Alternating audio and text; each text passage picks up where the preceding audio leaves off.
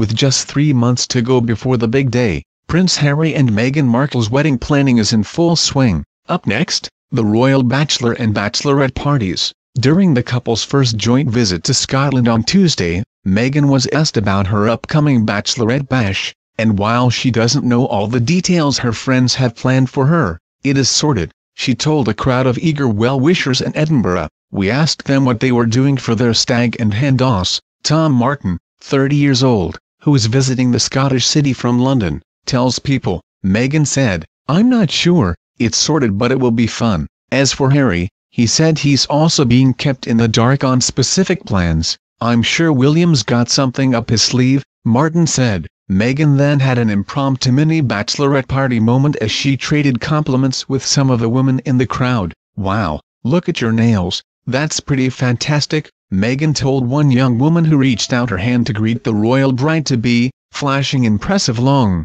pink nails. The woman excitedly replied, they're very Valentinici. Meghan then said, very Valentinici. Another woman complimented Meghan on her coat and another said they loved her handbag. Thank you, oh my gosh, thank you, Meghan told them.